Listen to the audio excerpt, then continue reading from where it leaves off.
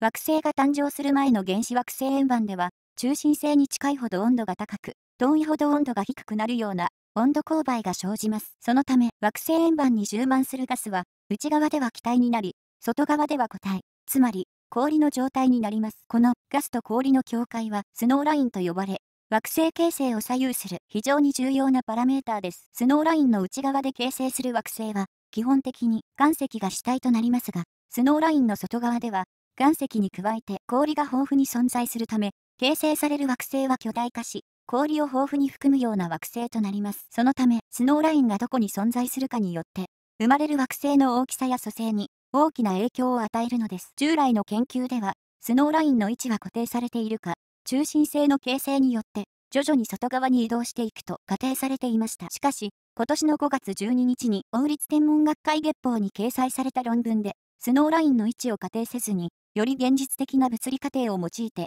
スノーラインの挙動を調べた研究が発表されました。この論文の本質は、円盤中の物質と温度が相互に作用するフィードバックを初めて検討したことです。円盤の温度が下がってガスが凝縮すると、そこでガスが氷となります。すると、今度は生成された氷が光を吸収するので、温度に変化が生じます。温度が変化すると、またスノーラインが移動して、ガスが凝縮したり、氷が消化したりします。このように、物質と温度が互いに影響し合うことで、スノーラインの位置が大きく変動しうるのです。こういったフィードバックは、従来の研究では考慮されていませんでした。実際に解析的なモデル計算と数値計算を行ったところ、非常に興味深い結果が得られました。円盤の主要なガス成分である CO や CO2、窒素、アンモニアに関して、スノーラインが大きく変動することが示されたのです。一方で、惑星円盤の最も主要な成分である H2O については、あまりこういった効果は見られませんでした。特に CO のスノーラインに関しては驚くべき結果となりました。原子惑星円盤中で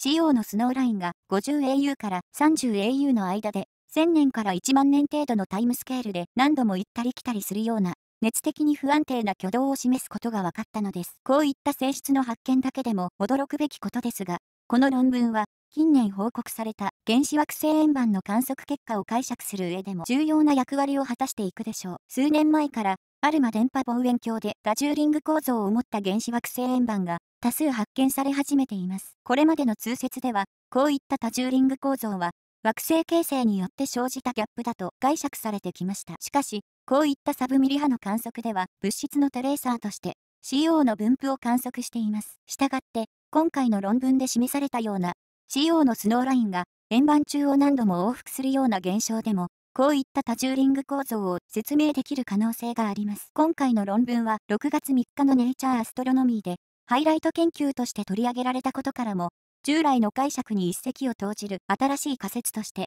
今後注目されていくと考えられます。それでは今回もご視聴いただきありがとうございました。面白かったと思いましたら、ぜひチャンネル登録していただけると嬉しいです。それではまた。